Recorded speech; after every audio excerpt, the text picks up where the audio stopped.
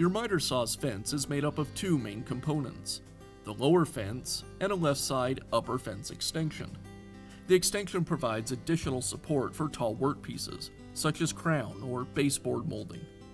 The extension can be adjusted side to side so the blade can be tilted for a bevel cut. Most problems with the extension fence are the result of accidental damage, such as hitting it with a long board or something falling on the saw.